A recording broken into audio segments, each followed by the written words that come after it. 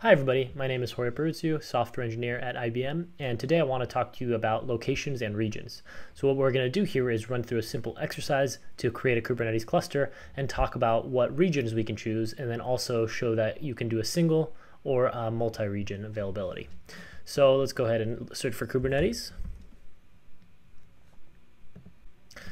Okay, so now that we're ready to create our Kubernetes cluster, we can leave this standard plan selected and we'll leave the default 1.17 Kubernetes service as is. So next we'll choose the infrastructure. So we'll leave it as, as classic.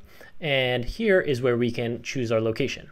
So basically we can either choose North America, South America, Europe, Asia Pacific, and we can choose single zone or multi-zone.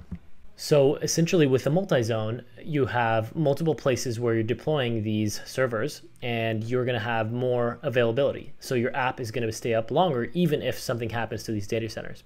Again, single zone is gonna be a bit cheaper, but you're not gonna have as high of an availability as the multi-zone.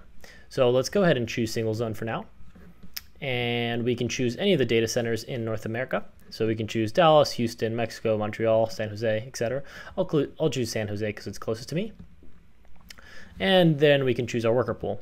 So another thing we can do is we can choose multi-zone and we can go ahead and choose Dallas or Washington, D.C. This is what's available for multi-zone.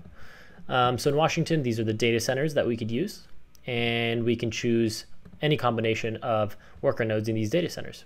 These availability zones are also available for virtual servers and for bare metal servers as well. And many of our IBM cloud services, such as Cloud Object Storage and Cloud Database, are using uh, multi-zone availability to make sure that your data is up there and as available as possible. Thanks so much, and I'll see you in the next video.